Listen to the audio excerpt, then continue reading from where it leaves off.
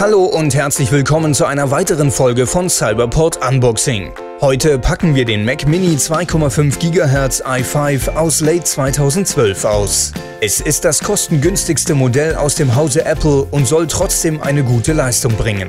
Dann schauen wir mal, was alles in dem weißen Karton drin ist. Geliefert wird der Mac Mini, ein Netzkabel, ein HDMI zu DVI-Adapter und eine Kurzanleitung. Natürlich fällt auf den ersten Blick das schicke, kompakte Design auf. Ob das Gerät auch seinen Kauf wert ist, werden wir in unserem Extratest hier auf dem Cyberport-Kanal veröffentlichen. Werfen wir noch schnell einen Blick auf die Anschlüsse. Los geht's mit dem Ein- und Ausschalter, einem integrierten Netzteil, ein Ethernet-Anschluss, einem Steckplatz für Firewire 800, ein HDMI-Anschluss, ein Mini-Displayport, vier USB 2.0 Anschlüssen, einem SD-Kartensteckplatz und zwei 3,5 mm Klinkenbuchsen für den Audio-Ein- und Ausgang. Das sonst auf der Vorderseite vorhandene DVD-Laufwerk wurde in dieser Version weggelassen.